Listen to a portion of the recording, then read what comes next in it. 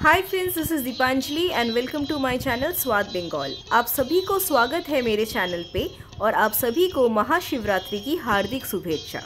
शिवरात्रि के अवसर पे एक छोटा सा ब्लॉग बनाया है। होपफुली आप सभी को अच्छा लगेगा। तो चलिए देखते हैं कैसे मैंने सेलिब्रेट किया है महाशिवरात्रि। आज सबसे पहले तो सुबह सुबह मैं पूजा का फूल और प्रसाद ले आई। इसमें सबसे इम्पोर्टेंट जो फूल है, इसे कहते हैं आकुंदो फूल और एक्लेपा माना जाता है इसके बिना और बेलपत्ते के बिना शिव पूजा असंपूर्ण है। सो so, इसी से मैं एक छोटा सा माला बना लूँगी शिव जी के लिए और इसके साथ ही साथ ये है हमारा बेलपत्ता जो बहुत ही इम्पोर्टेंट होता है ये पूजा के लिए। इसके साथ आप कोई भी प्रकार के सफ़ेद फूल प्रयोग कर सकते हैं। तो चलिए शुरू करते हैं हमारी आज की पूजा।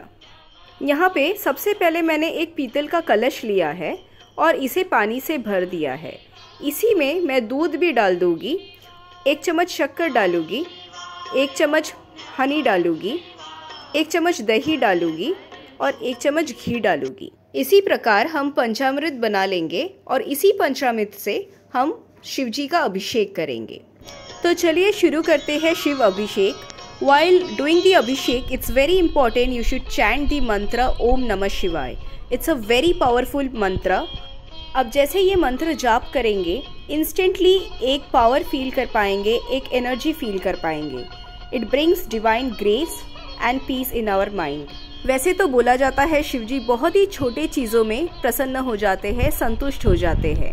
और इस पूजा के लिए ज़्यादा सामग्री भी नहीं प्रयोग होता है।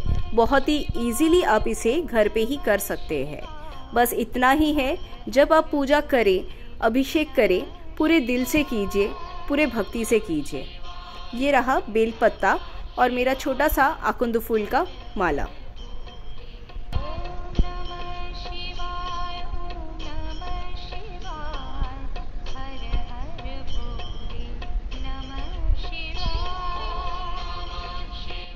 ध्यान रखिए, दूध या दही पूछते समय इंडेक्स फिंगर का प्रयोग ना करें। रिंग फिंगर या मिडिल फिंगर से इसे आप इस तरह से साफ़ कर सकते हैं।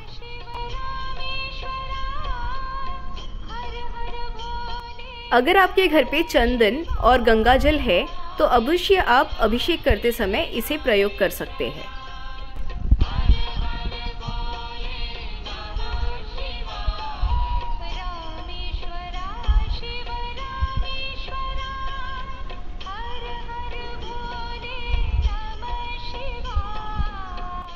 ये है मेरा तीन साल का बेटा रितो। इसे वो हर चीज़ करनी होती है जो इसकी मम्मी कर रही हो। तो इस बार बहुत ही श्रद्धा और भक्ति के साथ रितो ने भी शिवजी का अभिषेक किया है मेरे साथ। सो इसी प्रकार शिव अभिषेक संपूर्ण होने के पश्चात हम धूप लगाते हैं, अगरबत्ती लगाते हैं, दिया लगाते हैं, प्रे करते हैं और भगवान को प्रसाद चढ़ाते हैं। यहाँ मैंने five different types of fruits दिया है और मिठाई दिया है।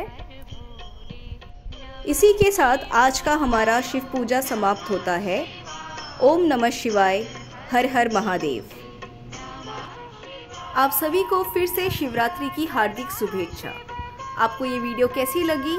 Please do let me know through comment section अगर अच्छी लगी हो तो please do like share and subscribe my channel Swad Bangal till then have a good day take care फिर मिलते हैं एक नए वीडियो के साथ।